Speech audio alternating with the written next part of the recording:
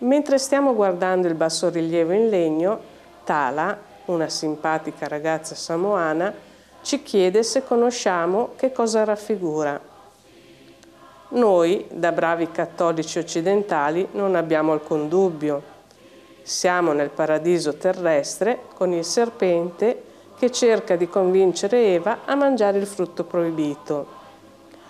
Potete immaginare la nostra sorpresa e stupore quando Tala ci informa che il paradiso terrestre, Eva e serpente non c'entrano nulla. Il basso rilievo in legno racconta la storia delle origini del primo albero da cocco, secondo la mitologia samoana. L'albero da cocco è una risorsa fondamentale per i samoani, è sorgente importante di cibo, è usato per fare l'olio di cocco, cesti, corde, per costruire le fale, piccole case tradizionali e le canoe. Il cocco essiccato è esportato in tutto il mondo ed è quindi fonte di reddito. A questo punto non ci resta che ascoltare la leggenda dalla voce di Tala. Sina, it's a Samoan word says Sina Malanatuna. In the English word is Sina and the eel.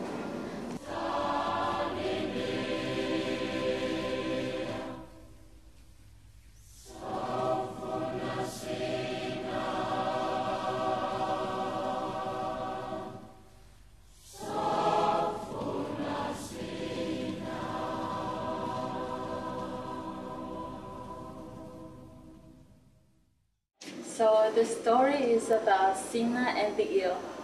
Uh, the island of Savai'i in Samoa, there is a beautiful lady. Her name was Sina. She had a little bit eel. When the eel grew up, he was in love to Sina. It uh, made the girls afraid, and she was trying to, to escape or run away. Uh, but the fish, whatever Sina go, the eel was there.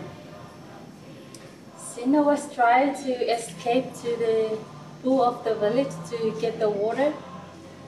And then she saw the face of the eel there. The eel said, you stare at me like face of the demon. Or Samoan words it's um, pula mayo mata o mata le lelo.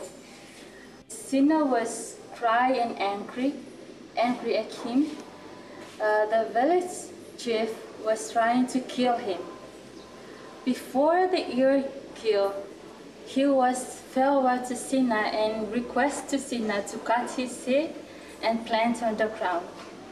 Sina was followed to uh, to the eel request, and he and she was plant the head of the eel and the coconut tree was grow up because of the head of the eel.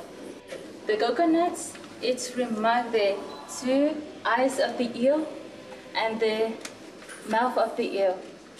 When sinners uh, drink the mouth of the eel, so which means that she kissed to the eel.